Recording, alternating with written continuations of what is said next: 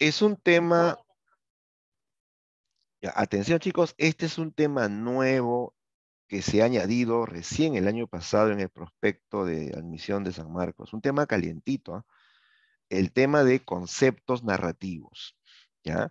que es un tema que nos permite eh, tener herramientas para poder analizar textos literarios que vamos a ir estudiando en las semanas subsiguientes. Aquí se va a manejar criterios de tipo de narrador, eh, cómo es el tiempo, cómo, qué tipos de personajes hay en la obra, ¿no? cómo es el espacio o lugar en que ocurren los hechos. O sea, eso tiene una teoría. En, una teoría que obviamente es extensa, esto en la universidad se estudia en todo un año, pero aquí vamos a hacer obviamente una síntesis que nos permita analizar eh, las obras que, que, están en el tema, ¿no? en, el, en el programa. ¿ya? Entonces, ojo, muy atentos chicos, porque repito, es una teoría distinta, no es eh, hablar de una obra hoy, sino es hacer teoría sobre narrativa eh, o conceptos narrativos. ¿Listos? Entonces, vamos a empezar. Bien, entonces, comenzamos con la idea de una narración. ¿Qué es una narración? ¿Qué es narrar, chicos? Cuando a ti te dicen, cuéntame algo, nárrame algo, ¿no? Eh, narrar es pues justamente contar algo que ya sucedió, ¿no?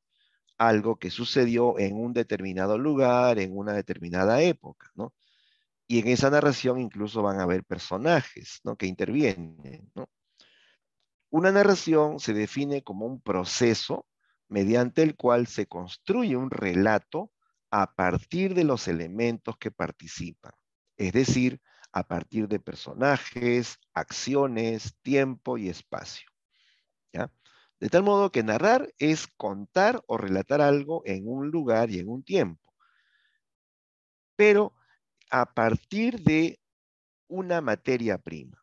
Mira, existe una historia y existe un eh, relato. La historia es eh, la acción en, crudo, digamos, y el relato ya es el proceso que convierte esa historia en crudo en una obra literaria. Claro, una obra literaria ya tiene calidad estética, ya tiene técnica, tiene recursos, pero eh, eso se logra a partir de convertir la historia en crudo en un relato. Por ejemplo, eh, Gustavo Adolfo Becker escribe una obra que se llama Leyendas y Fantasías. Es una colección de relatos. De repente la han leído en el colegio. Ahí hay historias como La Jorca de Oro, Los Ojos Verdes, eh, El Monte de las Ánimas, entre otras. Ya, pero esas leyendas que escribió Becker se basaron en historias que él escuchaba a la gente del pueblo, a la gente de las provincias en España. ¿Ya? Becker viajaba a las provincias y escuchaba a la gente del pueblo sus historias, historias así misteriosas, algunas llenas de, de, fantasía o de terror, ¿no? Tú sabes que en las provincias hay muchas creencias, ¿no? Y se cuentan historias. Y entonces, basado en esas historias que le contaba la gente del pueblo, Becker escribió la obra Leyendas y Fantasías. Pero obviamente no es lo mismo, porque lo que la, gente le contó era una historia bien sencilla, con palabras simples, ¿no? Eh, en cambio, Becker es un escritor y él le da un lenguaje más elegante, más estético, crea personajes, maneja un tiempo, maneja un espacio. Entonces, lo que hace Becker es construir un relato a partir de una historia en crudo eh, que él escuchó. ¿De acuerdo? Entonces, la narración es un proceso que convierte eh, una historia en crudo en un relato utilizando elementos como los personajes, acciones, tiempo y espacio. ¿De acuerdo? Ahora, en este proceso de narración interviene el llamado narrador. ¿Qué es el narrador? Ojo, hay que diferenciarlo del autor.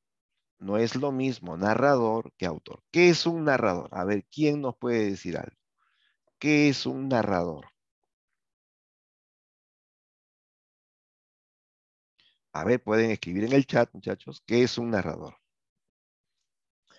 Bien, Alicia, correcto. El narrador es el que cuenta la historia. Es el que, el que está hablando, el que está contando la historia. ¿Sí? O sea, el narrador es una voz. ¿Ya? Es una voz o también es un personaje ficticio que va a contar la historia y que eh, va a existir dentro del texto, dentro de la obra. O sea, el narrador no es una persona, es una voz, es un punto de vista que existe dentro del texto, dentro de la obra. Y no es lo mismo que el autor. El autor es extratextual. El autor existe fuera del texto, fuera de la obra. ¿Por qué? Porque el autor es una persona real, es una persona de carne y hueso, ¿no? Puede ser Vargallosa, puede ser Dante Alighieri, Gustavo Flaubert, Frank Kafka.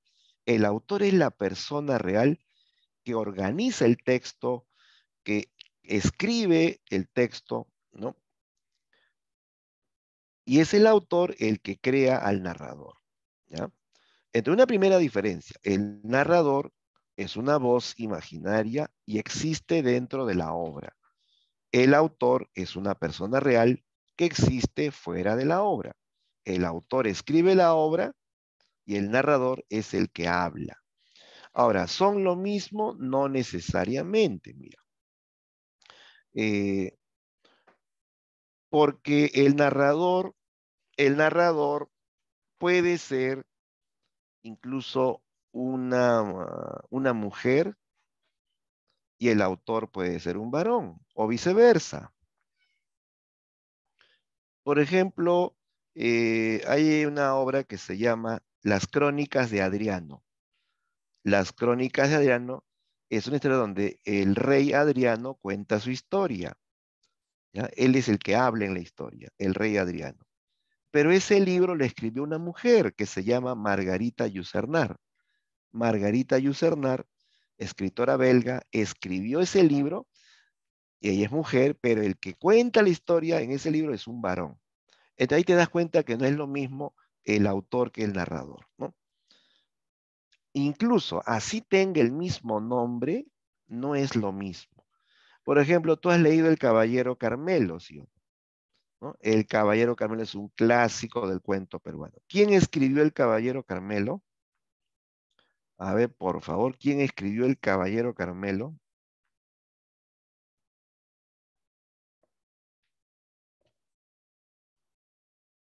Abraham Valdelomar. Exacto, Abraham Valdelomar, muy bien.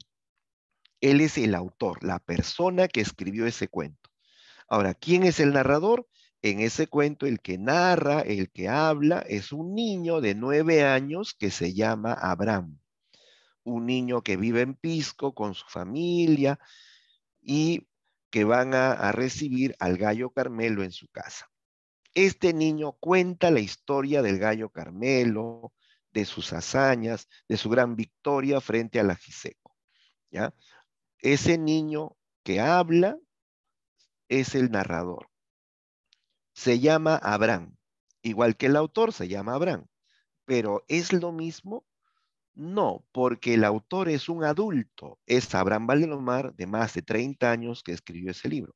En cambio, el narrador es un niño de 9 años. No es lo mismo. No vamos a pensar que eh, el Cabrero Carmelo lo escribió un niño de 9 años. No, lo escribió un adulto de más de 30 años, ¿no? Entonces, no es lo mismo. Así tenga el mismo nombre, no es lo mismo. ¿ya? Bien. En una narración intervienen varios elementos. Ahí están los principales elementos. Una narración, como ya vimos, tiene un narrador, que es el que cuenta la historia, tiene acción, que es eh, el conjunto de hechos que van a formar una historia. Tiene personajes, ¿no? Principales, secundarios, simples, complejos, ¿no? La narración tiene un espacio, un lugar donde se desarrolla. Y a veces el lugar tiene un valor simbólico. ¿sí? El lugar a veces tiene una interpretación. ¿ya? A veces es un espacio de, armonía, a veces un espacio de, sufrimiento, un espacio de, de repente, de, explotación. O sea, el lugar también tiene, tiene un valor en la historia. También tiene un tiempo. Toda narración tiene un tiempo. ¿ya? El tiempo también se asocia con no solamente la duración de cuánto abarca la historia, días, meses o años, sino también involucra cómo se cuenta, en qué orden se cuenta la historia. Yo puedo contar la historia en orden lógico. Comienzo por el principio, termino por el final. Pero también puedo contar la historia alterando el orden lógico. Puedo comenzar contando desde el final y terminar por el principio. ¿No? O comienzo por la mitad y luego salto al principio. O sea, el tiempo también involucra eso, ¿no? La manera en que se cuenta la historia. ¿ya? Entonces, esos son los elementos de una narración. Narrador, acción, personajes, espacio y tiempo. Bien, en este esquema te quiero explicar eh, el proceso de, eh, la comunicación eh, a través de un texto narrativo. A ver, atención, ¿ah? ya hemos dicho que el narrador es una voz, solo es una voz que enuncia, que habla en el relato. Cuando tú lees una narración, esto es un proceso comunicativo. Hay un emisor, hay un receptor, hay un mensaje. El emisor es el autor el autor real que escribió el libro. También se incluye como emisor al narrador. Tanto el autor como el narrador son emisores, porque ellos son los que envían el mensaje. Ahora, date cuenta, en este esquema, eh, el narrador aparece dentro de este cuadro.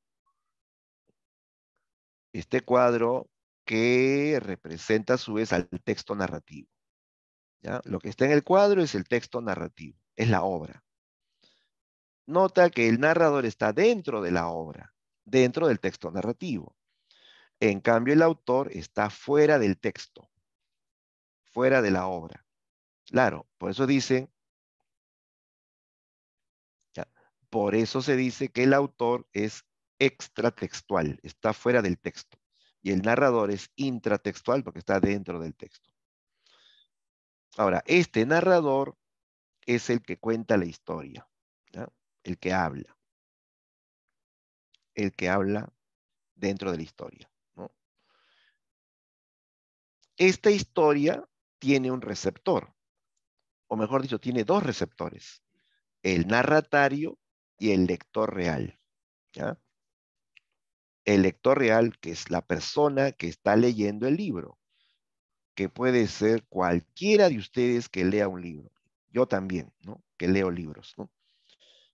El lector es la persona real que lee el libro. ¿Y qué es el narratario? Nota que el narratario también es un receptor. El narratario está dentro del texto. El narratario es un receptor ficticio, un receptor que está eh, captando la historia del narrador. ¿ya?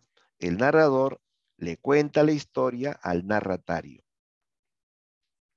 y también al lector. Pero el narratario es ficticio, no es real, no es una persona real, sino es, puede ser un personaje o simplemente un receptor tácito. Por ejemplo. ¿han oído de la obra Las cuitas del joven Werther? Las cuitas del joven Werther, la historia de ese muchacho que se suicidó por decepción amorosa, se metió un balazo en la cabeza, ¿no? Ya, esa historia la cuenta el propio Werther. El narrador es el personaje Werther. El autor es el escritor alemán Johann Goethe. Ahora, Werther, que es el narrador y al mismo tiempo es el personaje, le cuenta su historia en cartas a un amigo que se llama Guillermo. Dice, oh amigo Guillermo, me he enamorado de un ángel. Estoy enamorado volcánicamente, pero ella está comprometida. Así es Werther, ¿no? Es un soñador que, que se enamora pues de una mujer comprometida y eso le hace sufrir porque se da cuenta que es un amor imposible. ¿Ya? Ya, pero él le cuenta esto a Guillermo. Guillermo funciona como narratario. Guillermo es eh, un personaje, existe dentro de la obra, y a él le está contando su historia el joven Werther. Ahora, esa historia también la lees tú, pero tú eres una persona real, tú eres lector. ¿ya? En cambio, el narratario es un personaje al cual se le está contando la historia dentro de la obra. ¿ya? Bien, entonces estos son elementos que participan en la narración eh, dentro de lo que es pues eh, comunicar la narración. Hay un receptor, hay un lector y obviamente hay un emisor, ¿no? la historia es el mensaje, ¿no? La historia es el mensaje, ¿de acuerdo? Bien, ahora sí, vamos a lo práctico. Lo que nos preguntan aquí son los tipos de narrador, ¿ya? Puntos de vista o tipos de narrador. A ver, mira, el narrador en general, ya hemos dicho que es la voz que está contando la historia. Este narrador puede ser externo o puede ser interno a la historia. Puede ser externo a la historia o interno en la historia. Cuando es externo, cuando es externo, se le llama heterodiegético. Narrador heterodiegético significa que es externo o fuera de la historia. El narrador externo puede ser a su vez omnisciente o puede ser objetivo. ¿ya? Ambos son externos, ¿ah? tanto el omnisciente como el objetivo. ¿Qué significa narrador omnisciente? Mira, omni es todo, ciente es saber. Entonces, narrador omnisciente es aquel que todo lo sabe, que todo lo conoce. ¿Ya? Le llaman narrador Dios, porque él lo sabe todo sobre sus personajes. Sabe lo que ven, lo que oyen, lo que dicen, lo que piensan, hasta lo que sienten. Hasta se sabe el futuro de cada personaje. Él lo sabe todo. Tú puedes saber lo que está pensando eh, algún compañero de la sala. No puedes saber lo que está pensando. ¿Sabes su futuro? No lo sabes. Pero el narrador siente sí lo sabe.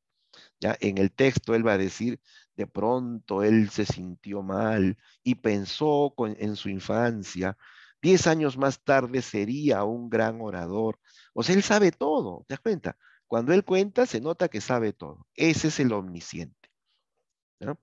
Por ejemplo, el narrador de la obra El mundo es ancho y ajeno. Este narrador sabe todo sobre sus personajes lo que hacen, lo que dicen, lo que piensan, hasta lo que sienten interiormente. Ahora, diferenciemos omnisciente de narrador objetivo. El objetivo también es un narrador externo, ¿correcto?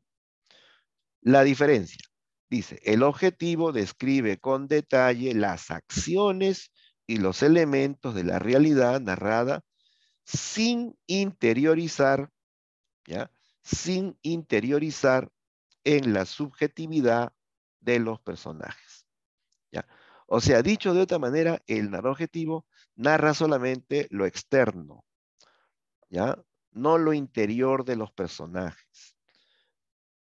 El narrador objetivo capta lo que hacen los personajes, su aspecto físico o exterior.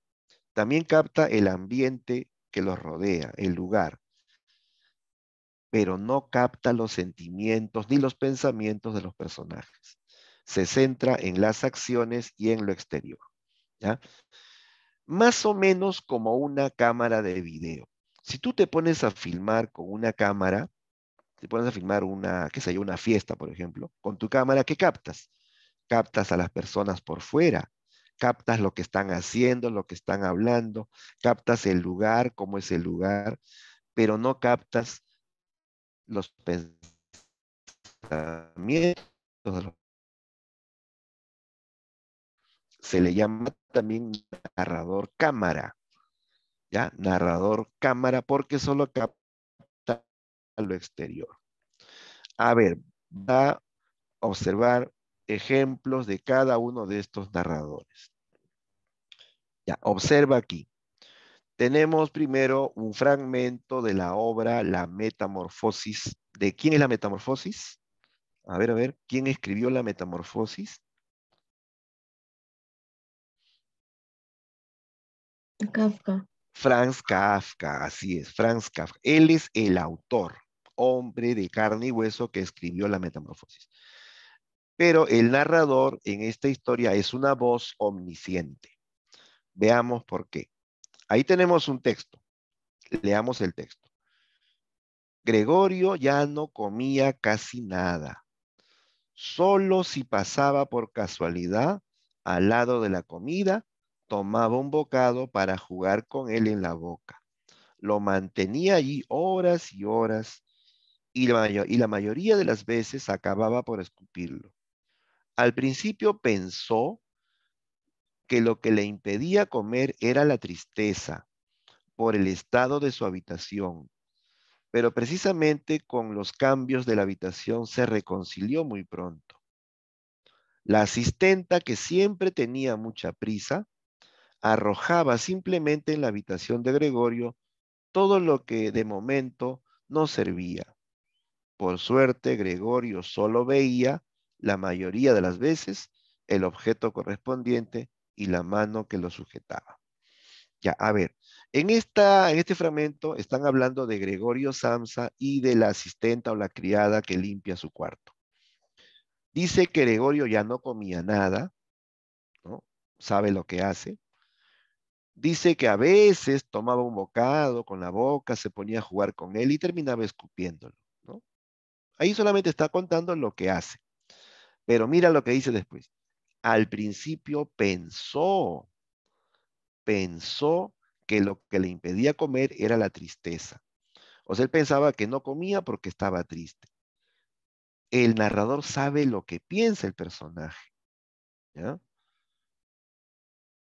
Sabe también lo que hacen los demás. La asistenta, que siempre tenía mucha prisa, dice, siempre tenía prisa, sabe lo, sabe cómo es la costumbre del asistente, que arrojaba, ¿no? Arrojaba eh, lo que podía, ¿no? A la habitación, ¿no? Entonces aquí el narrador sabe lo que piensa, sabe, ¿no? Lo que siente, la tristeza también, ¿no? Eso es ser omnisciente. ¿Ya? Sabe la interioridad de los personajes. Ahora, compara esto con la segunda idea, segundo texto, de la obra La Colmena. Dice, don Pablo extiende el periódico sobre la mesa y lee titulares. Por encima de su hombro, Pepe procura enterarse. La señorita Elvira hace una señal al chico. En este fragmento me están diciendo lo que hace don Pablo, que está leyendo su periódico, ¿no? Sentado a la mesa, ¿no? Y hay un muchacho que se llama Pepe que quiere leer por encima, ¿no? Quiere leer lo que está leyendo Pablo. Y hay una señorita que le dice al chico con una seña que no haga eso, ¿no? Aquí solamente me están narrando lo que hacen los personajes. No me, no me dice lo que piensan ni lo que sienten los personajes. Esto, es, esto tiene narrador objetivo. ¿ya? Un narrador cámara que solamente capta las acciones externas, no las internas, no los pensamientos ni sentimientos. ¿De acuerdo? Esa es la, la diferencia. Ahora, hablemos de narradores internos. Ya, seguimos con punto de vista narradora. El narrador interno se va a llamar homodiegético. ¿ya? Recuerda que el externo es heterodiegético. ¿ya? Homodiegético es narrador interno, está dentro de la historia. El narrador interno puede ser protagonista o puede ser testigo. Veamos la diferencia. El narrador protagonista dice utiliza la primera persona para narrar su propia historia. Utiliza la primera persona. Chicos, ¿cuál es la primera persona gramatical? A ver, en lenguaje. ¿Cuál es la primera persona gramatical? Yo, exacto. Primera persona, yo. Segunda persona, tú. Tercera persona, él o ella. Los narradores externos hablan en tercera persona. Dicen él, ella, ellos, ellas. En cambio, el narrador interno siempre habla en primera persona. El protagonista habla en primera persona y cuenta su propia historia. Su propia, o sea, habla de sí mismo. Por eso es una narración subjetiva, desde una perspectiva muy personal. Por ejemplo, existe un narrador protagonista en la obra El Lazarillo de Tormes. El Lazarillo de Tormes. Pregunto, ¿quién escribió El Lazarillo de Tormes? ¿Quién es el autor del Lazarillo de Tormes?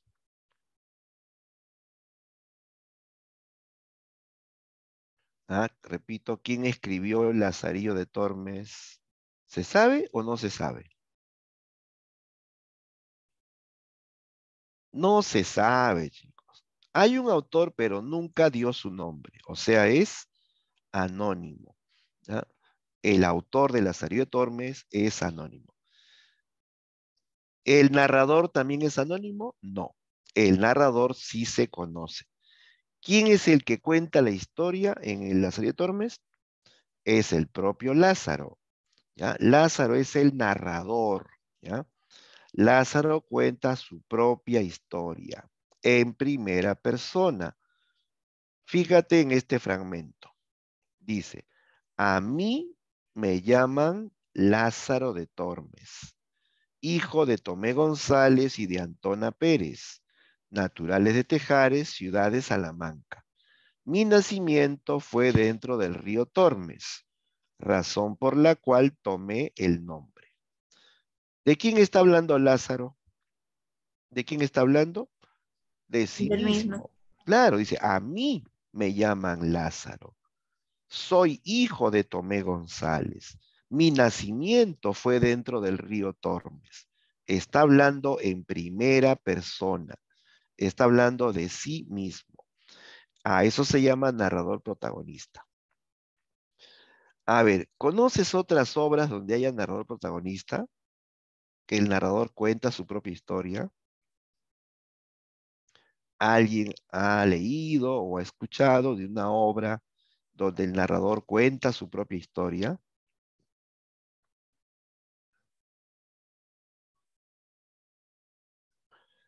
Eh, ¿Han oído, chicos, por ejemplo, del gato negro? El cuento El gato negro de Edgar Allan Poe. Ya, en ese cuento el, el, autor es Allan Poe, pero el narrador es un alcohólico, un borracho que cuenta su historia, que cada vez que toma se vuelve un demonio, ¿no? Se vuelve loco, ¿no? Que, que le pega a los animales, ¿no? Que le saca el ojo a su gato, ¿no? ¿Sí o no? Ah, también, ¿no? El principito, también, ¿no? Ahí también el narrador habla de sí mismo. Ya, entonces siempre el narrador que cuenta su propia historia es llamado narrador protagonista. Ahora, vamos a diferenciar el protagonista del testigo. Narrador testigo. Dice, no es protagonista. Relata las acciones de otros y no emite juicios ni comentarios. Su conocimiento es parcial y su rol es pasivo. Ya, primero, aclaremos que este narrador testigo también está dentro de la historia, ¿ya? Es interno. Incluso también habla en primera persona, pero a diferencia del protagonista, el testigo relata las acciones de otros. Él está dentro de la historia, pero él relata las acciones de otros personajes. Por ejemplo, en la obra Las aventuras de Sherlock Holmes. ¿Has oído de Sherlock Holmes? Este famoso detective, ¿no? Muy brillante, muy analítico, que descubre y resuelve casos de manera muy brillante. Incluso hay película, ¿no? Hay película de Sherlock Holmes. Ya, pero en esta historia, chicos, el narrador el que cuenta la historia es su compañero Watson, el doctor Watson. Watson está dentro de la historia, es un personaje. Y Watson nos cuenta lo que le sucede, nos cuenta las aventuras de Sherlock Holmes. De Watson no habla de sí mismo, él habla de Sherlock Holmes. ¿ya? Él es un narrador testigo, ¿ya? narrador testigo. Está dentro de la historia, pero habla de otros. Otro ejemplo sería nuevamente el Caballero Carmelo. En el Caballero Carmelo, el narrador es el niño de nueve años llamado Abraham, pero él no habla de sí mismo. Él nos cuenta la historia del gallo Carmelo, cómo llegó el gallo a su familia, cómo se hizo el animal más querido, nos habla de sus victorias, de su última batalla contra el ajiseco, donde finalmente ganó y cómo se murió a los dos días, ¿no? O sea, este niño narrador es testigo de lo que le pasa al gallo Carmelo, ¿ya? Narra las acciones de otros, ¿ya? Está dentro de la obra, pero narra la historia de otros, ¿ya? Eso es narrador testigo. A ver, este fragmento que ves aquí es de la obra Las aventuras de Sherlock Holmes. Vamos a verificar por qué es narrador testigo. Dice, Holmes corrió hacia el cordón de la campanilla, arrancó una tablilla corrediza y metiendo la mano sacó una fotografía y una carta. La fotografía era de la propia Irene Adler en traje de noche. La carta estaba dirigida a Sherlock Holmes. Mi amigo la abrió y los tres la leímos juntos. Nota que dice, mi amigo la abrió y los tres la leímos juntos. Cuando dice leímos, o sea, leímos la carta, la leímos juntos, aquí Decir leímos implica leímos nosotros, ¿sí o no? Leímos nosotros. O sea, el que está narrando se incluye en ese verbo leímos. O sea, el narrador está dentro de la historia, pero él no está hablando de sí mismo, está hablando de Sherlock Holmes, que entró, que corrió un cordón, que sacó una tablilla, que luego sacó una fotografía, Está hablando de lo que hace Sherlock Holmes. El narrador es testigo. Está dentro de la obra, pero habla de otros, ¿correcto? Esa es la, la definición. Entonces, en resumen tenemos cuatro tipos de narrador. Dos externos y dos internos. ¿Quiénes son los externos? Los externos, como ya vimos acá, son el omnisciente y el objetivo. El omnisciente lo sabe todo, lo exterior y lo interior del personaje. El objetivo solamente sabe lo exterior, no lo interior del personaje. Narrador interno, el protagonista que está dentro de la historia y habla de su propia historia. El testigo está dentro de la historia, pero habla de otros. Así de simple. Bien, serían los tipos de narrador. Ahora vamos a, a tener la idea del tiempo. el tiempo del relato. Ya, a ver, el tiempo se refiere a la vinculación que hay entre la situación temporal del narrador, en tanto constructor de relato, con respecto al orden cronológico de la historia. ¿Ya? Mira, el tiempo eh, tiene que ver con dos cosas. ¿Cuánto dura el relato?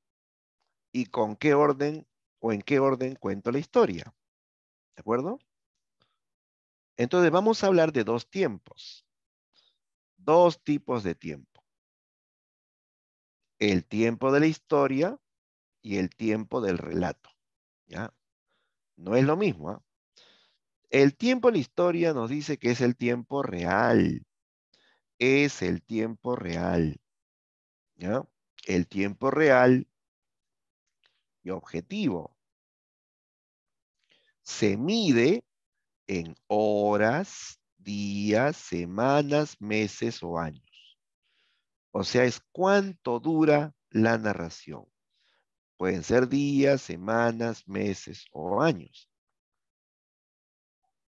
Es el tiempo real, la duración en días, semanas, meses o años. Por ejemplo, eh, la novela Ulises de James Joyce nos cuenta la historia del personaje Leopoldo Bloom durante un día. Si esta obra tiene más de 500 páginas, pero te cuenta lo que le pasó al protagonista en un día nada más, todo lo que le pasó en un día. Un día sería el tiempo de la historia. A ver, ¿Se acuerdan de la Iliada de Homero? La Iliada de Homero no te cuenta los 10 años de guerra de Troya. Solamente te habla del décimo año.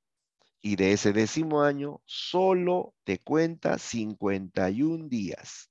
¿Ya? La obra, desde que comienza hasta que termina, abarca 51 días. Ese es el tiempo de la historia. La duración. Puede ser en días, en meses o años. ¿Recuerdan 100 años de soledad? ¿Cuánto tiempo abarca la narración de 100 años de soledad? El título lo dice, pues, ¿no? Esa obra te cuenta 100 años de historia de una familia, a lo largo de varias generaciones, obviamente. 100 años de historia, ¿no? Ese es el tiempo de la historia. La duración real que puede ser, repito, en horas, días, semanas, meses o años. Hay obras que abarcan varios años. Por ejemplo, El mundo de Sancho y Ajeno abarca más de 10 años de historia. Desde que comienza que termina, han transcurrido más de 10 años. Ahora, tenemos que diferenciar el tiempo del relato. Tiempo del relato ya no es cuánto dura, sino es el orden, el orden en que se cuentan los hechos, ¿ya? Es el orden en que cuento la historia. Yo puedo contar la historia de dos maneras, de manera natural o de manera artificial, ¿ya? Orden natural consiste en presentar los hechos en un orden lógico, en un orden lógico. ¿Cuál es lo lógico? Que la obra se empiece a contar desde el principio hasta un desenlace final. Las obras eh, en orden lógico tienen un inicio, un desarrollo, un nudo y un desenlace. De tal modo que comienza por el inicio y termina por el desenlace, como es natural, ¿no? Como pasa en la vida real. El orden natural también implica respetar el orden cronológico, o sea, sin alterar el tiempo, sin hacer salto al pasado ni salto al futuro, sino narro en orden cronológico. Por ejemplo, la obra Crimen y Castigo de Dostoyevsky nos cuenta la historia de Raskolnikov en orden lógico y cronológico. Primero hay la narración de un planeamiento del crimen, luego viene la ejecución del crimen, luego viene el sufrimiento, el cargo de conciencia, el arrepentimiento, la confesión, ¿no? Finalmente, el protagonista se entrega a la justicia y recibe su castigo. La obra se ha contado en un orden lógico. Comienza por un principio y termina por un final. Lo mismo pasa en Doña Bárbara. Lo mismo pasa en el mundo de Sancho y Ajeno. Se cuenta la historia en orden lógico y cronológico. Ya, ojo, a esto también se le llama narración lineal, o tiempo lineal, mejor dicho, tiempo lineal, cuando avanza en orden lógico y cronológico. Ahora, no todas las obras narran las historias en orden lógico y cronológico. A ver, vamos a encontrar el caso contrario. El orden artificial. Orden artificial. ¿Qué es eso? Implica la alteración del tiempo a nivel lógico como cronológico. O sea, altero el orden lógico y cronológico. Ahora, para lograr eso hay varias formas, varias técnicas. Yo puedo alterar el orden lógico y cronológico de la siguiente manera. Puedo anticipar las acciones adelantándome al tiempo. ¿Sí? Por ejemplo, en la obra Crónica de una muerte anunciada de García Márquez. Esa novela comienza prácticamente por el final, cuando matan al protagonista. ¿ya? Lo acuchillan en la puerta de su casa. Así comienza la novela cuando él lo acuchillan y luego nos van a contar por qué lo mataron, quiénes fueron los autores del crimen, ¿no? Cuáles fueron los motivos, ¿no? Pero ni bien comienza la obra, ya nos adelantan que lo han matado. Y luego comienzan a explicar, ¿no? Por qué lo mataron. Es más, la obra termina cuando el muchacho llega a su puerta y lo acuchillan de nuevo, ¿no? O sea, prácticamente la obra termina tal y como comenzó, ¿no? También, también se puede alterar el orden lógico entrecruzando varias historias a lo largo de la narración. Claro, eh, por ejemplo, en Cien años de soledad eh, se cuenta una historia de un personaje y de pronto se cuenta la historia de otro personaje, pero en otra época, en otra época. Luego regresa la historia del primer personaje y así luego se va a contar la historia de otro personaje en otra época. Entonces se entrecruzan varias historias en diferentes tiempos. Eso hace que la narración ya no tenga linealidad, sino que está al cambiar o al alternar varias historias, ¿no? se van a también a modificar los tiempos. Lo mismo sucede, chicos, con La ciudad y los perros. Si ustedes leen La ciudad y los perros, ahí nos cuenta la historia de los cadetes de Leoncio Prado. Tú estás leyendo la historia de un cadete dentro del colegio, por ejemplo, la historia del jaguar, y en el siguiente párrafo nos hablan del jaguar antes del colegio cuando era un chiquillo que vivía en el Callao y tenía malas juntas y se metió en una pandilla de, ladrones, de robacasas y hasta lo metieron preso. Cuenta cuando él era un chiquillo antes del colegio militar. Y luego otra vez regresa cuando ya está dentro del colegio militar. Entonces, como se alternan diferentes historias en diferentes tiempos, el tiempo ya no es lógico, ya no es lineal. También lo más clásico, chicos, se puede alterar el orden lógico y cronológico haciendo salto al pasado. Salto al pasado. Eso es una técnica muy conocida. Todos han oído del flashback, ¿sí o no? El flashback es el salto momentáneo al pasado. ¿Ya? Por ejemplo, en la obra La Odisea. En la Odisea, eh, y en muchas obras más se hacen saltos al pasado para recordar hechos que permitan explicar el presente. Eh, y aquí hay una palabra más, raconto. Raconto y flashback, ambos son técnicas que nos permiten saltar al pasado. ¿Cuál es la diferencia? Que el, el raconto es un salto más largo, más largo. Y el flashback es un salto más corto. ¿Ya?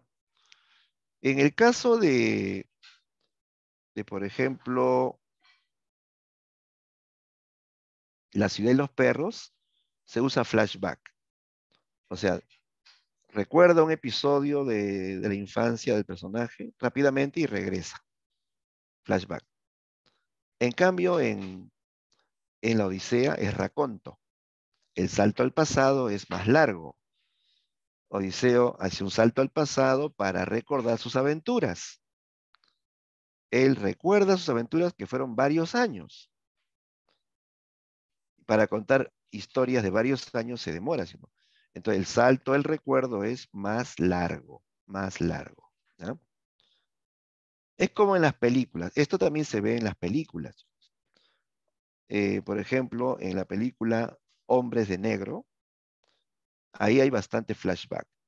Hay momentos en que los protagonistas recuerdan momentos del pasado, inmediatamente vuelve al presente.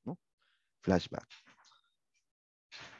Raconto, por ejemplo, se puede ver en la película Forrest Gump. ¿Han visto, chicos, la película Forrest Gump? Sí, profesor. Claro, es un clásico del cine, ¿no? Forrest Gump. Claro, en esa película Forrest Gump eh, cuenta su historia eh, haciendo saltos al pasado. Se sienta, ¿no? En una banca, conversa con extraños y le cuenta su historia. A uno le cuenta su infancia, a otro le cuenta su adolescencia, ¿no? De cómo se fue al ejército, cómo luchó en Vietnam, cómo conoció a los Beatles, cómo se hizo millonario, ¿no? Pero son historias largas, o sea, son recuerdos largos, porque contar toda la infancia o toda la juventud o toda la adultez implica más tiempo, ¿no? Entonces, en Forrest Gump se aplica raconto. Salto al pasado, pero largo. Entonces, estas técnicas permiten alterar el orden lógico y cronológico de un relato. Otra forma es iniciar y acabar la historia del mismo modo.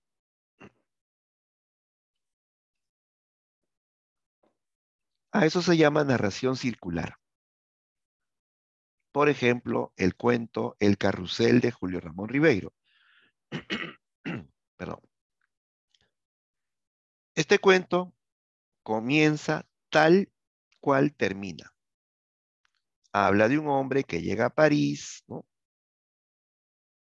cuenta sus historias y al final dice, al final de la historia, ese hombre finalmente dice, y así volví a París, ¿no? Llegué a París, ¿no? Entonces, inicia tal y como termina. Por eso se llama carrusel. Cuando tú te subes a un carrusel, subes, está detenido el carrusel, y al terminar vuelves al mismo punto. Por eso que el autor a este cuento le llamó el carrusel, porque ese cuento termina tal y como comenzó. Bien, entonces de resumen. El tiempo del relato puede ser natural o puede ser artificial. Es natural cuando sigue un orden lógico o lineal. Y es artificial cuando altera el orden lógico. Y para eso usa flashback, narración circular, alterna historias, anticipa el futuro, ¿no? Entonces todo eso es orden artificial, ¿correcto? Bien, ahora atención, hablemos de los personajes. Tipos de personajes.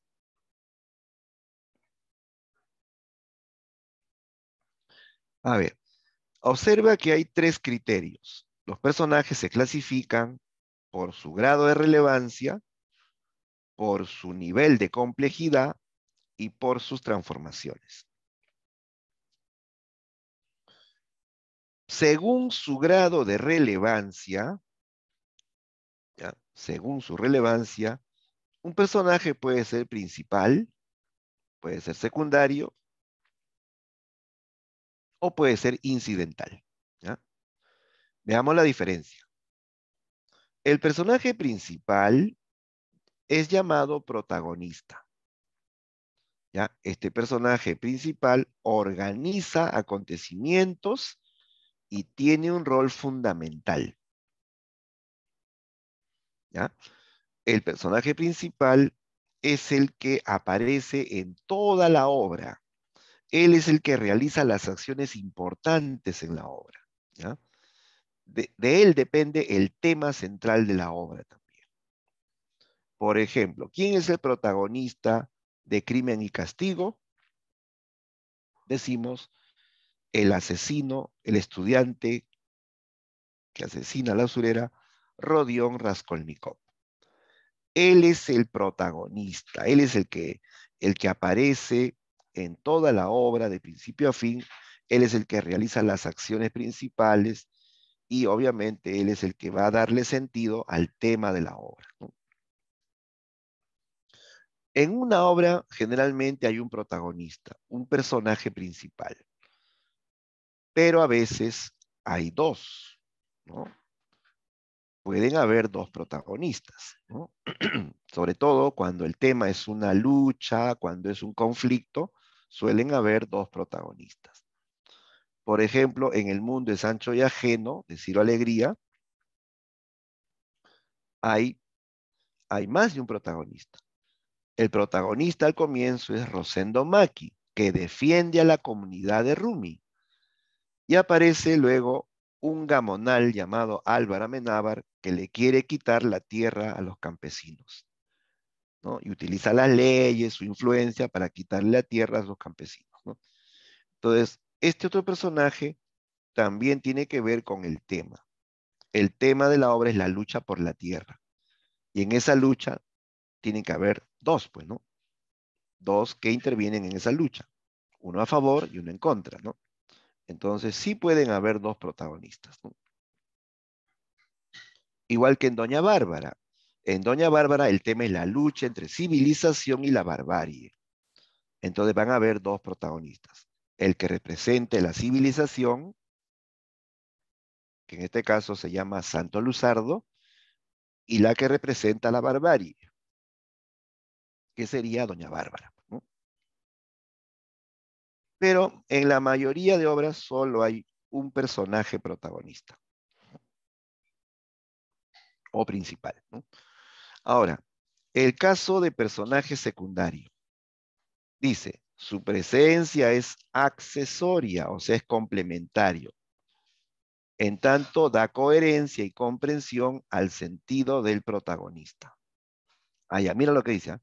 que el personaje secundario es accesorio o complementario y le da sentido al protagonista. Entonces, un personaje secundario no es que no sea importante, ¿eh? al contrario, el personaje secundario complementa al protagonista, le da sentido al protagonista. Ahora, cuando digo que complementa, no significa que esté siempre a favor o esté de su lado. No, no, no. Puede ser que esté en contra. Puede ser que sea su, su rival incluso. Claro, pero lo complementa y le da sentido. Es como la relación Batman y Guasón. Guasón le da sentido a Batman y Batman le da sentido a Guasón. ¿Qué sería de Batman sin el Guasón? ¿no? ¿O qué sería de la U sin alianza? ¿Sí o no? Se complementan. No necesariamente están del mismo lado, ¿no? Sino más bien son rivales, ¿no? Pero lo complementa, le da sentido al otro, ¿no? ¿Qué sería un ceviche sin limón y ají? Solo con limón no es lo mismo, ¿no? Cuando le metes el ají, ahí, ahí se logra ese saborcito ideal, ¿no? Entonces, así es el personaje secundario, lo complementa, ¿no? Para darle sentido, puede estar a favor o puede estar en contra, ¿no? El tercer caso, el personaje incidental. Ya, a ver, ¿qué es incidental? Este es un personaje que aparece poco, menos que el personaje secundario. Generalmente aparece en un episodio, máximo dos, y luego desaparece. Nunca más vuelve a aparecer. Es un personaje muy episódico.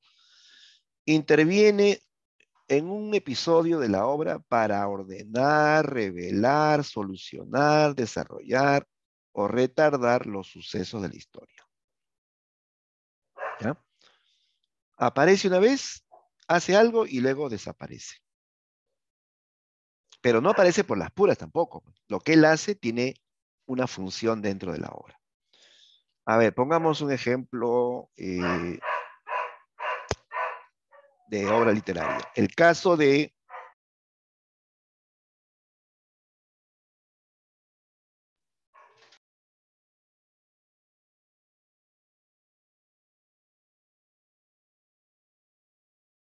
A ver, pongamos como ejemplo el Lazarillo de Tormes.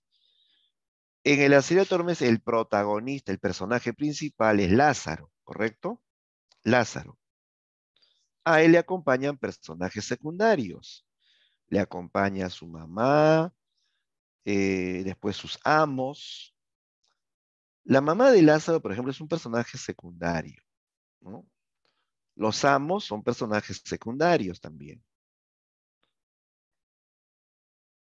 Este Lázaro en un momento de su historia va a tener un padrastro, un esclavo negro llamado Zaire, que se va a enlazar con la mamá de Lázaro,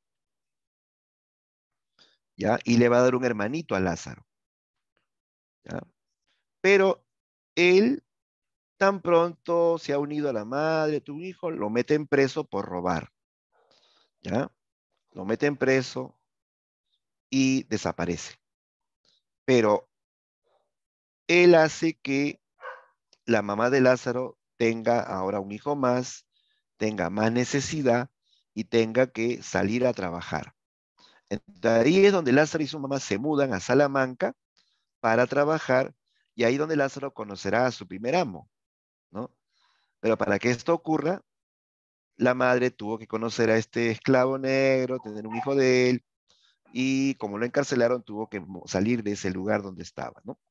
Entonces, el, padrastro de Lázaro, llamado Saide, es un personaje incidental, solamente aparece en ese episodio y luego nunca más vuelve a aparecer, ¿ya? A eso se llama personaje incidental. Ya, estos tres tienen que ver con la relevancia del personaje, si es principal, secundario o incidental. Ahora, el segundo criterio, el nivel de complejidad. Según este criterio, el personaje puede ser simple o puede ser complejo.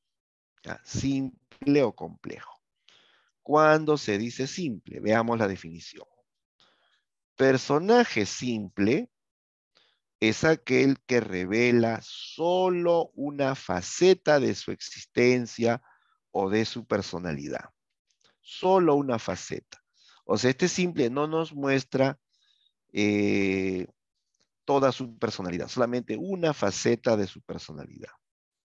En cambio, el complejo, personaje complejo, es aquel que presenta más de un rasgo caracterizador. O sea, nos muestra varias facetas de su personalidad. Inclusive vamos a conocer facetas contradictorias en su carácter. Como pasa en la vida real. En la vida real los seres humanos somos complejos. Tenemos diferentes facetas de nuestra personalidad. O pregunto, o siempre tú, siempre eres una persona, digamos, siempre alegre, o a veces te puedes amargar también. Claro, todos a veces nos amargamos, a veces estamos felices, a veces estamos tristes, a veces hacemos cosas buenas, a veces también hacemos cosas malas o no. Claro, el ser humano es un ser complejo. En las obras, a veces el personaje no nos muestra su complejidad, solamente nos muestra una faceta. A ese se llama personaje simple. Pero cuando sí nos muestra varias facetas de su personalidad, ahí decimos que es complejo. Por ejemplo, en la obra Crimen y Castigo, eh, el protagonista Raskolnikov es el asesino. Ha cometido un crimen. Pero pregunto, ¿se han dado cuenta los que han leído esa obra si él también hace cosas buenas? Los que han leído esa obra, los que han oído esa obra, sí sabrán que Raskolnikov también hace cosas buenas. Hay una escena en que él se mete a rescatar a unos niños en un incendio. Él arriesga su vida y se mete para rescatar a niños dentro de un incendio. Él también ayuda a una familia pobre dándole todo lo que tiene en sus bolsillos para que ellos puedan comer. O sea, él tiene episodios donde muestra su personalidad solidaria de ayudar y por momentos aparece este muchacho controvertido que se da derecho de matar, ¿no? Entonces la obra nos muestra varias facetas de su personalidad. Luego la etapa del arrepentimiento, ¿no? Entonces es un personaje complejo. En cambio, la usurera, la víctima, en toda la obra, hasta que muere, siempre aparece mala, desalmada, cruel, ¿no? Nunca vemos un episodio donde ella sea bondadosa o donde tenga algún gesto diferente. Siempre la misma faceta. Otro ejemplo, en la obra El mundo es ancho y ajeno. El gamonal siempre aparece soberbio, ambicioso, prepotente. De principio a fin no cambia, es un personaje simple. En cambio, a ver, Benito Castro, Benito Castro tiene varias facetas. Nos hablan de cuando era un niño inocente, que era maltratado por su padrastro. Después nos hablan de un joven ya rebelde que se fuga de su pueblo y comienza a vivir experiencias en diferentes eh, lugares del Perú. Llega a Lima, entra a estudiar, se pone a estudiar en una nocturna. Después se vuelve obrero y aprende ideas socialistas después eh, vuelve a su pueblo, se casa, se vuelve padre de familia, después se vuelve revolucionario porque le quieren quitar las tierras a su pueblo. O sea, esta novela nos habla de Benito Castro como un personaje que tiene varias facetas. Faceta de niño, de padre, de revolucionario, a veces está alegre, a veces está triste, a veces está enojado. Es complejo. Eso es ser un personaje complejo.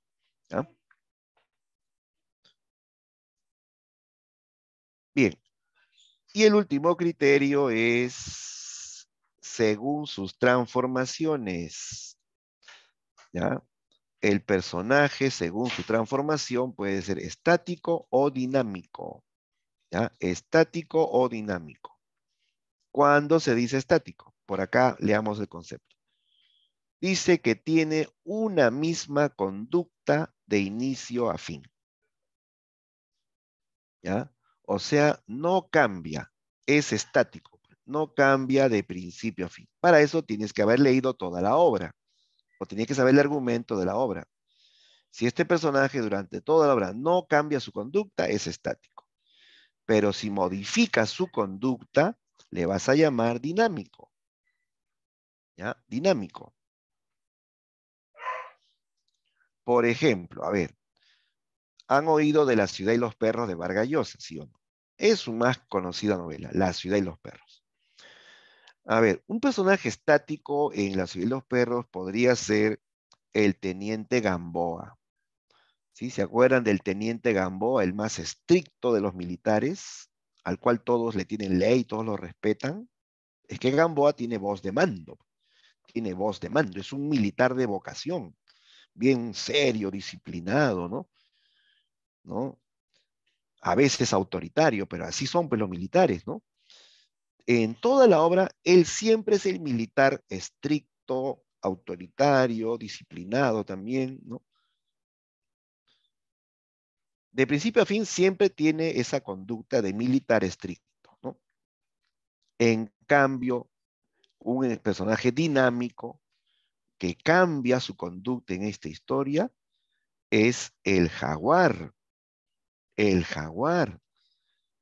Al comienzo de la historia, el jaguar es ese cadete rudo, ese cadete bravucón que le pega a todos, ¿no?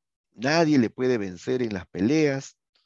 Es más, el, el cadete jaguar tiene antecedentes delincuenciales.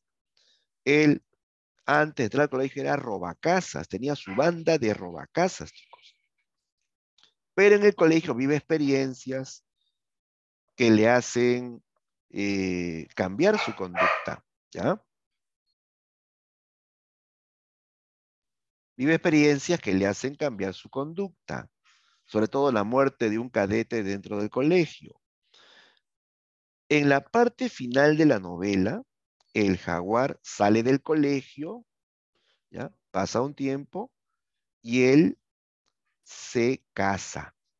Se casa con una muchacha decente, una muchacha buena, y por amor a ella, él comienza a cambiar también se consigue un trabajo decente. Él va a trabajar como cajero en un banco. ¿Te imaginas a un robacasas como cajero de un banco? Él cambió, señores.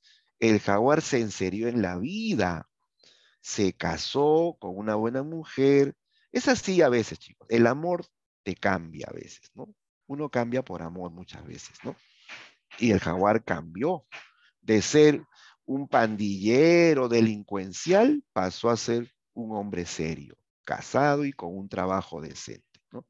Entonces el jaguar es un personaje dinámico en esta historia, porque a lo largo de la historia, él sí modifica su conducta. ¿De acuerdo?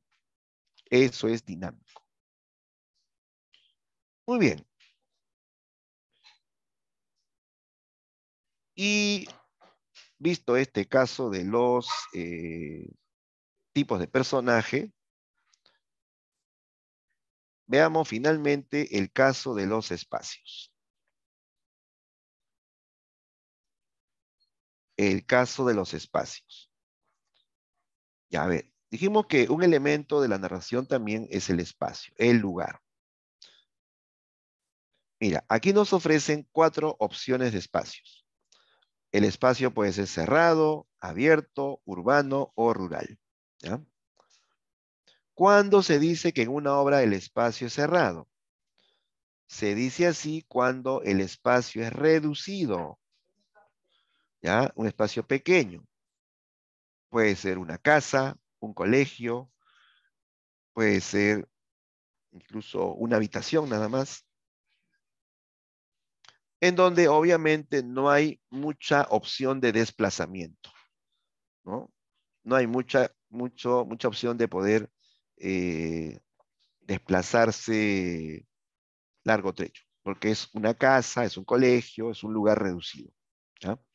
Por ejemplo, en la obra La ciudad de los perros, el escenario principal, el espacio es el colegio internado el colegio internado. Estos chicos están internados, o sea, no pueden salir de colegio más que los fines de semana. De lunes a, sábado están dentro del colegio militar. Ese colegio militar es un espacio cerrado, ¿no? Y que influye en su conducta. Estar tanto tiempo encerrados hace que ellos estén pues así muy tensos y se vuelvan hasta rebeldes contra el sistema educativo militar.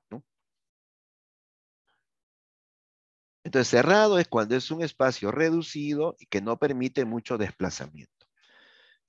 En cambio, espacio abierto es aquel espacio amplio que sí permite mayor desplazamiento de los personajes. Eso sucede, por ejemplo, en Crimen y Castigo. En Crimen y Castigo, el escenario o espacio es la ciudad de San Petersburgo. ¿ah? la ciudad de San Petersburgo, una ciudad en donde el personaje puede caminar por las calles, sube edificios, se va a una casa, se va a otra casa. Va a la estación de policía. El espacio es amplio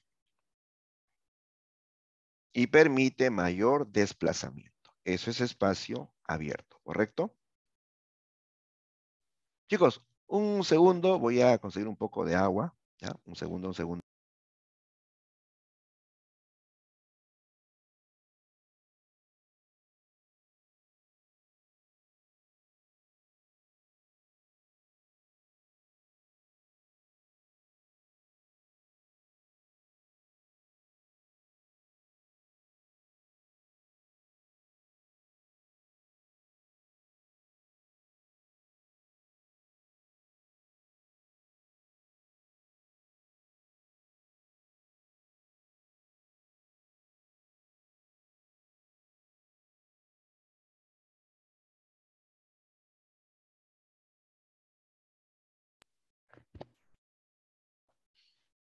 Hola, hola, hola, hola, continuamos, ahora sí. Vamos a proseguir, chicos. Lo que pasa es que he amanecido ya resfriado y un dolor de cabeza también. Ojalá que no sea el bicho, chicos. Ojalá. A ver. Ya, entonces estábamos en espacio abierto. Ya, ahora veamos el espacio urbano. ¿Cuándo se dice que el espacio es urbano? ¿Qué es urbano? ¿O qué es urbe? Urbe es una ciudad, ¿no? Una ciudad. Pero una ciudad moderna, una ciudad donde hay edificios, hay avenidas, ¿no? Hay diferentes clases sociales. Por ejemplo, Lima es un espacio urbano. Lima tiene, tiene pues, eh, construcciones modernas, tiene avenidas, edificios y personajes de diferentes clases sociales, ¿sí o no? ¿No? Eso es un espacio urbano, donde incluso hay modernidad, ¿no? Hay tecnología, hay centros comerciales, ¿no? Escaleras eléctricas, ¿no? Espacios urbanos son los espacios modernos también. ¿Y qué es un espacio rural? ¿Ah? ¿Cuándo se dice rural? A diferencia de urbano, lo rural es el espacio que existe en el campo, en las zonas eh, campesinas, en las provincias, digamos, ¿ya? En donde no hay, pues, estas construcciones modernas, no hay la tecnología probablemente que hay en la ciudad, ¿no? ¿Ya? Ahora, cuando digo provincia, no me refiero a las ciudades de las provincias, porque en las provincias también hay ciudades, ¿sí o no? Que se parecen a Lima incluso. Me refiero a las zonas más alejadas, ¿ya? Más alejadas, donde no hay pues esa modernidad, ¿no? No hay esas construcciones, eh, digamos, de material noble y de, de grandes dimensiones, ¿no? Me refiero a esas zonas, esos pueblitos donde hay poquitas casas rústicas, incluso hechas de adobe, ¿no? Donde la gente se dedica a la agricultura, a criar animales o a la minería también. Esos son los espacios rurales. Por ejemplo, esto aparece en las novelas indigenistas, ¿no? Obras como El mundo de Sancho y Ajeno, Los ríos profundos, Yaguar Fiesta. Ahí los escenarios son rurales, son ambientes campesinos, ¿no? Donde hay pocas edificaciones, y las actividades mayormente son pues las rurales, ¿no? Ganadería, agricultura, minería. En cambio, espacio urbano eh, es en la ciudad moderna, ¿no? Como la ciudad de los perros. Porque la ciudad de los perros habla de alumnos y de un colegio que existe en una ciudad, en Lima, ¿no? El colegio militar está en Lima. Lo mismo sucede con la obra, a ver, eh, un mundo para Julius. El espacio es urbano, la ciudad de Lima. ¿Correcto? Eh, entonces, eh, los espacios son los lugares donde ocurren los hechos. Pueden ser cerrados, abiertos, urbanos, rurales. A veces coinciden dos, como en la ciudad de los perros. En la ciudad de los perros el espacio es cerrado, pero también es urbano. ¿sí? Claro, en crimen y castigo el espacio es abierto y también es urbano, ¿sí? En el mundo de Sánchez Ajeno el espacio es rural, pero a la vez es abierto, porque es amplio, ¿no? El personaje puede desplazarse por los cerros, por los ríos, no es amplio, es abierto, ¿te das cuenta? Entonces, se puede dar la coincidencia de dos tipos de espacio en una misma obra. ¿Listo? Muy bien. Esto, chicos, es la teoría de la narración. ¿ya? Saber tipos de, narrador, primero eso, ¿ah? diferenciar tipo de narrador, diferenciar el tiempo de la historia y el tiempo del relato, saber reconocer personajes. ¿Qué tipo de personaje es? Obviamente, no es memorizar conceptos, chicos. Te ponen preguntas con textos y en base a eso tú tienes que decir cómo es el narrador o cómo es el personaje, cómo es el tiempo, etcétera, ¿no? Muy bien. A ver, chicos, hasta aquí. ¿Alguna pregunta? ¿Se entendieron los conceptos o están volando? Sean sinceros, chicos, ¿ah? porque este tema, sinceramente, no es fácil. ¿ah?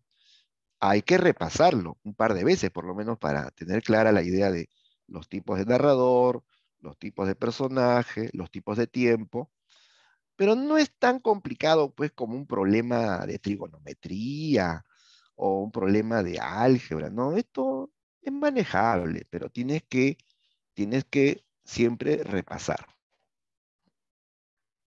Ya, vamos a resolver, chicos, A ver, todos con su material, todos con su material, la tercera práctica, ¿no? No, segunda, segunda, perdón. El segundo tema. Eh, conceptos narrativos. Ya, a ver, ubiquemos. Aquí te he puesto la teoría, un resumen de la teoría que hemos tratado hoy. Y al final está la práctica. Ya, ahí está. Dirigida número 2. ¿Se ve, chicos? A ver, confírmame si se ve en la pantalla la práctica 2. Sí, se ve, profesor. Ah, ya, excelente. Muy bien. Vamos a aplicar estos conceptos que hemos mencionado en esta práctica. Listo, listos. Entonces nos enfrentamos a la práctica. A ver, todos participamos en la solución. Primera pregunta. Dice, marque la alternativa que contiene los enunciados correctos acerca del narrador. Lo correcto acerca del narrador. A ver, es el ente que relata lo que acontece en la historia. ¿Es cierto eso? Él es el que relata, claro, él es el que cuenta la historia. No es el que escribe, es el que cuenta o relata la historia. Eso está bien dicho. ¿ah? Entonces, esto es correcto. Dos, emite su voz desde un ámbito intratextual. ¿Es correcto? Claro, el narrador existe dentro del texto, dentro de la obra. En cambio, el autor existe fuera de la obra, ¿no? Si es intratextual. Ahora, no estoy diciendo que esté dentro de la historia siempre. El texto es el libro, es la obra. Ahora, ese narrador que está dentro del libro, de la obra, puede estar dentro o fuera de la historia, ¿no? Y según eso va a ser externo o interno a la historia, ¿no? Pero siempre es intratextual porque está dentro del texto o dentro de la obra. Es correcto. Para ser objetivo, siempre es externo a la historia. Eh, el narrador para ser objetivo, siempre es externo a la historia.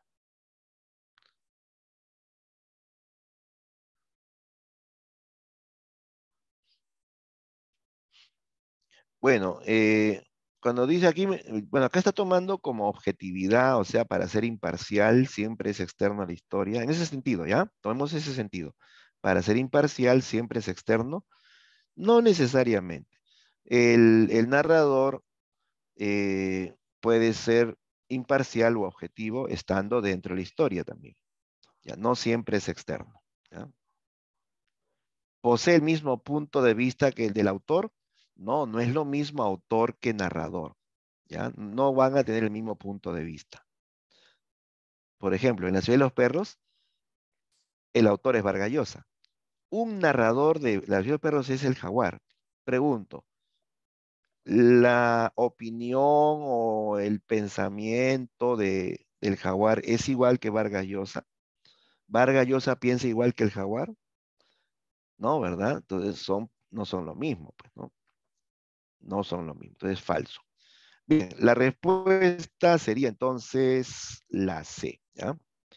Para la pregunta 1, la clave correcta, C de cerebro, 1 y 2. Vamos a la pregunta 2. Dice, identifique el tipo de narrador del siguiente fragmento de El amor en los tiempos del cólera de Gabriel García Márquez. Ah, gran novela de García Márquez. Veamos. Ya, dice, terminaron por conocerse tanto que antes de los 30 años de casados eran como un mismo ser dividido y se sentían incómodos por la frecuencia con la que se adivinaban el pensamiento sin proponérselo, o por el accidente ridículo de que el uno se anticipara en público a lo que el otro iba a decir.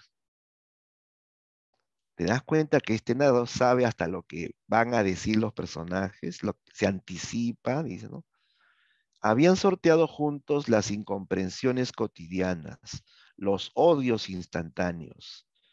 O sea, sabe que ellos se odian, sabe que a veces eh, ¿no? se incomodan, dice, ¿no?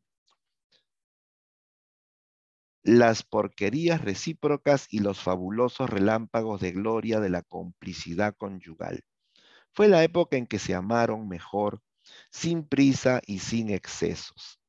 Y ambos fueron más conscientes y agradecidos de sus victorias inverosímiles contra la adversidad.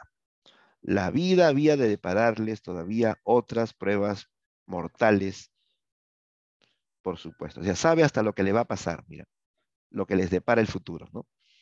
Ya, entonces aquí vemos que el narrador sabe lo que hacen, sabe lo que piensan, sabe lo que sienten y hasta sabe lo que les va a pasar más adelante. ¿no? ¿Cómo es ese narrador? Que todo lo sabe.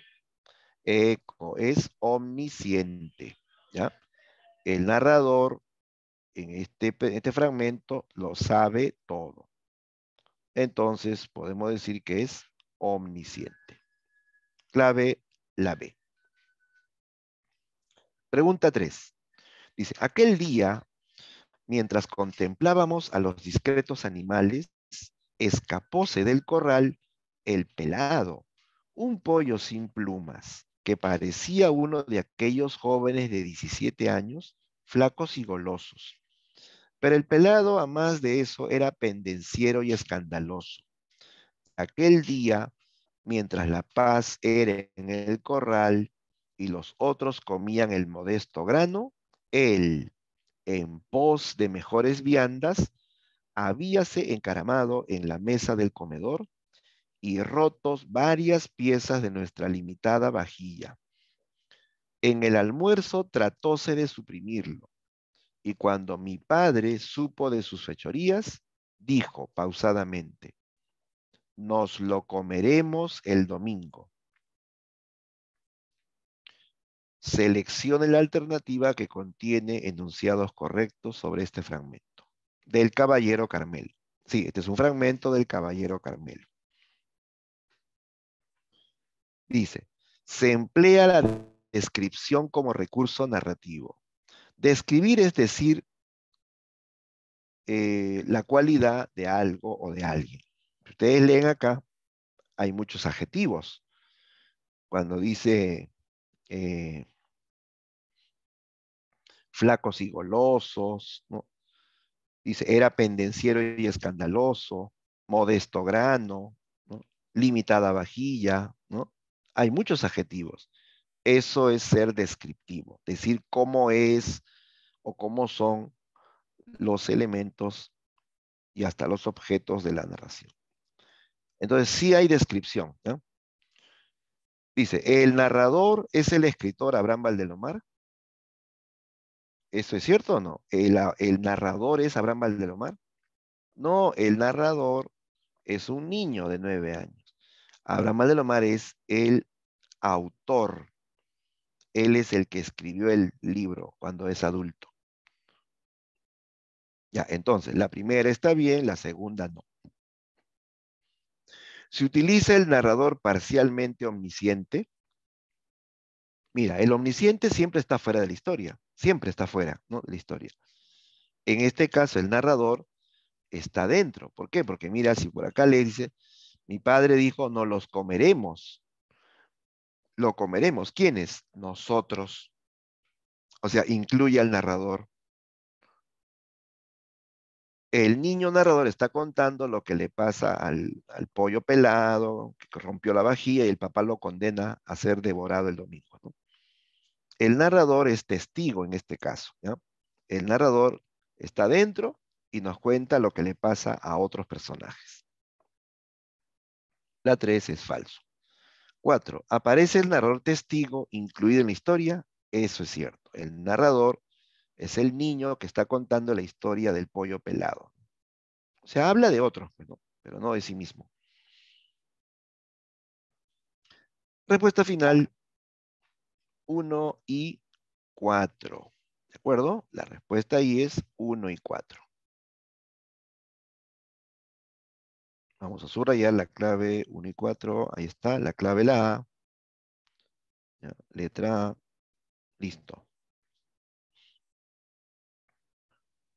A ver, hagamos la pregunta número 4. A ver, eh, para la pregunta 4 mm, necesitamos a alguien que nos apoye con la lectura de la pregunta 4. A ver, a ver, ¿quién, quién lee la pregunta 4?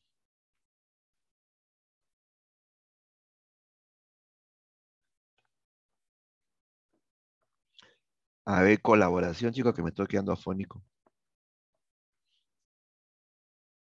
O digo yo, digo yo mejor, ¿ah? A ver. Eh, Caleb, Caleb Álvarez. ¿Estás atento, Caleb?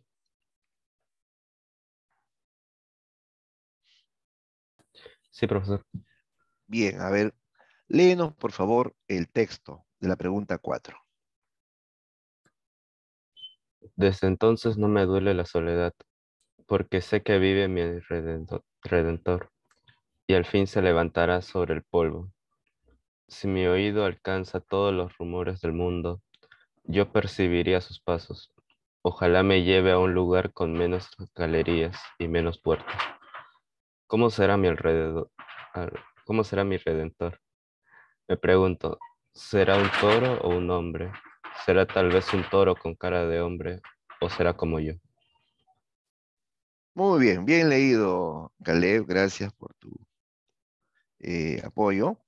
Ya, hemos leído, o Caleb nos ha leído un fragmento del cuento La casa de Asterión de Jorge Luis Borges. ¿Ya? En este cuento, noten que hay una voz que está hablando. Dice, desde entonces no me duele la soledad. ¿De quién está hablando? de él mismo, ¿sí o no? Dice, sé que vive mi redentor, yo sé.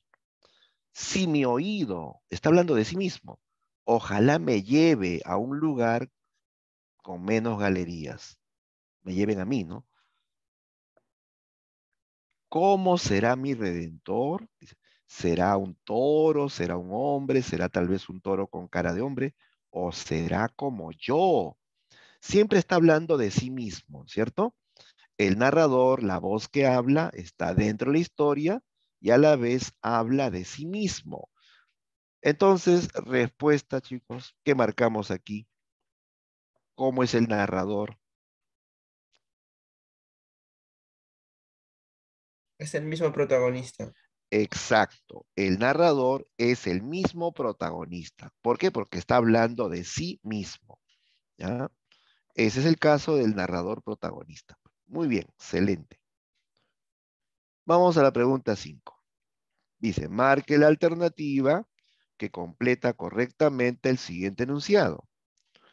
En la novela La Metamorfosis de Franz Kafka, Grete Samsa, la hermana, puede ser clasificada como un personaje si tenemos en cuenta que de ser una hermana solidaria con el marginado, pasa al final a despreciarlo y condenarlo. Ah, nos dice que Grete al comienzo es la hermana solidaria que ayuda a Gregorio cuando se convirtió en insecto, hasta le, lo, lo alimenta y lo quiere, pero al final lo desprecia y lo condena. Ya. Según lo que se dice sobre ella, ¿qué tipo de personaje sería? Dinámico. Claro, como un personaje cambia su conducta, se le llama dinámico. Así es, muy bien, excelente. La clave es la B. Grete es un personaje dinámico porque a lo largo de la historia ella cambia su conducta. De chica solidaria, de chica bondadosa, se una chica que lo desprecia, que lo condena, que lo va a detestar incluso.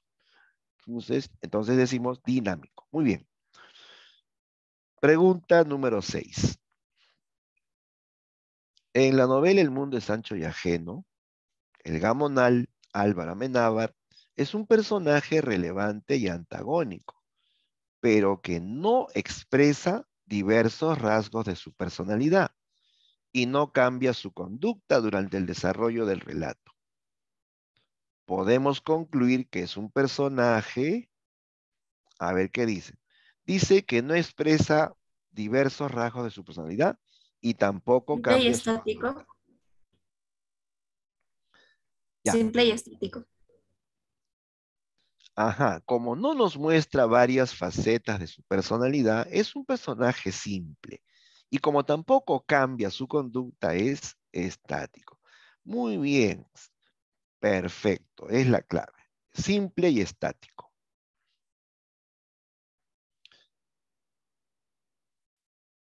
Vamos a la pregunta 7. En la obra El Lazarillo de Tormes, sobre la madre de Lázaro, no se muestran mayores rasgos o facetas del personaje. Por lo tanto, es posible afirmar, según el nivel de complejidad, que ella es un personaje. Dice, no se muestran mayores rasgos o facetas del personaje. ¿Cómo sería entonces la La madre de? Incidental. Simple. A ver, ¿será incidental o simple? Ya, para despejar la duda, tienes que tener en cuenta el criterio. Acá está el criterio, ¿ah? según el nivel de complejidad. Porque incidental tiene que ver según la relevancia. No, no olvides los criterios. ¿ah? Se dice incidental, principal o secundario, según su relevancia. Y cuando se dice según su nivel de complejidad, ahí decimos dos opciones, simple o complejo. ¿no? ¿Ya? Entonces, si me habla de complejidad, no puedo hablar de incidental. Ahí solamente hay dos caminos, o es simple o es complejo. ¿Y qué decimos acá? Es simple. Simple, Simple. claro, la respuesta es simple. ¿no? Personaje simple. Bien, vamos a la pregunta 8. Ya, dice, marque la alternativa que completa de manera correcta el siguiente enunciado. El tiempo es un concepto vinculado con la forma de narrar la historia. Al respecto, se puede afirmar que el tiempo del relato desarrolla un orden natural cuando, cuando el tiempo es natural. Recuerda que hay natural y hay artificial. ¿Cuál es lo natural? Descri- describe los sucesos de manera lógica. Claro, natural es cuando se narra en- de manera lógica, cuando el tiempo avanza tal y como sucede en el mundo real, de presente a futuro o de inicio a final, ¿no? Claro, entonces, si yo busco las opciones, sería la D, ¿de acuerdo? Es natural cuando describe los sucesos de manera lógica y cronológica, como se ve en la obra Crimen y Castigo que la obra comienza por el principio y termina por un final. Es lógico. Listo. La pregunta 10. O 9, ¿no? Pregunta 9. A ver, veamos. Dice, detrás de este caney se alzaba una hilera de, de árboles Jobos, Dividives y el Alto Algarrobo, que le daba nombre al, es, al esguazadero. Lo demás era una llanura despejada. La inmensidad de los pastos, en cuyo remoto confín circular y como suspendida en el aire por efecto del espejismo, divisábase la ceja de una arboleda, la mata llanera, bosque aislado en medio de las sabanas. Altamira, exclamó Santos, los años que no te veía. Del fragmento citado perteneciente a la novela Doña Bárbara de Rómulo Gallegos, se puede deducir que el escenario, el escenario descrito, en el escenario descrito prevalece el, ya, aquí nos hablan de Santos que está volviendo a su tierra, Altamira. ¿Y qué cosa ve? Él ve una gran hilera de árboles. Él ve llanuras despejadas. Ve en la inmensidad de los pastos. Dice que ve también una ceja de árboles, una mata llanera, una sabana. Una sabana es una pampa inmensa, ¿no? Ya, a ver, ¿cómo es el escenario según lo que estamos leyendo? Espacio abierto. Espacio abierto de la gran llanura. ¿Y por qué no puede ser la B, ambiente rural? Porque si es donde hay pasto, árboles, ¿no? Puede ser rural, ¿no? Ya, mira, está entre la A y la B, ¿no? Nada más porque no es la casa, no es campo como barbarie tampoco. Y la B dice asociado al atraso. En el texto no nos hablan de que este lugar esté atrasado. ¿no? Pero sí podemos verificar que es un espacio abierto, porque es amplio, porque hay pampas, hay, una, hay bosques, ¿no? hay pastos amplios. Es una llanura abierta. Esta es la respuesta. La clave la A es un espacio abierto en donde un personaje puede desplazarse ¿no? libremente. En esta historia Santos llega con su caballo y se asombra de ver la llanura, por eso dice, hace años que no te veía. Él ha regresado a la llanura venezolana. ¿no? Listo, pregunta 10. A ver la 10. Complete la definición. El tiempo del relato es a ver, a ver. La C.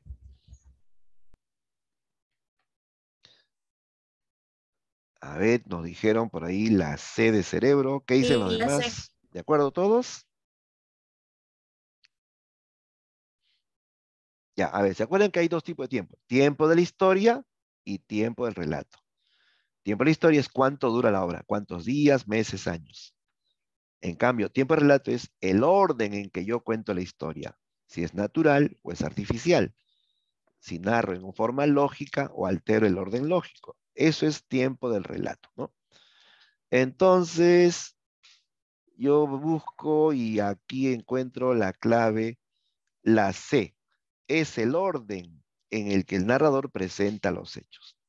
En el tiempo relato interesa el orden en que se cuenta, no cuánto dura la historia, ¿no? El orden en que se cuenta, si es natural o es artificial. ¿Bien?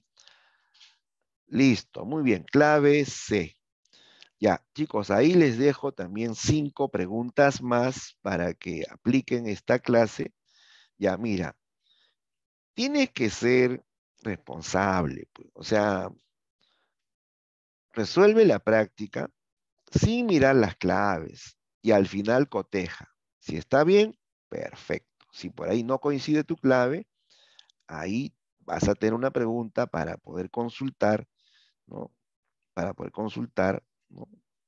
En la siguiente clase, ¿no? O en algún momento, ¿no? Que quieras hacer la pregunta, ¿ya? Pero no dejes de practicar, ¿ya? Y también vamos a colocar en intranet más preguntas para que sigas practicando.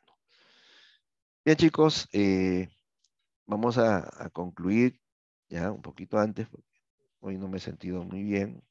Quiero ya tomar unos medicamentos para recuperarme y estar bien para mañana. ¿Ya? Bien, chicos, entonces, eh, Practiquen, practiquen y ya nos reencontramos la próxima semana.